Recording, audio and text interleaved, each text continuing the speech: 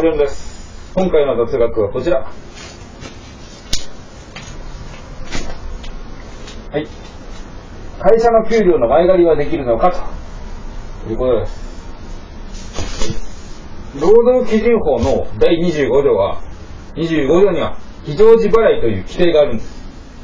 それは、使用者は労働者が出産、失病、災害、その他命令で定める異常の場合の費用に充てるために請求する場合において、支払い期日前であっても、基準の労働に対する賃金を支払わなければならないとなってるんです。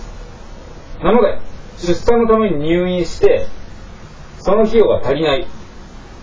という時は、給料期日前であっても、給料の前借りをすることができる。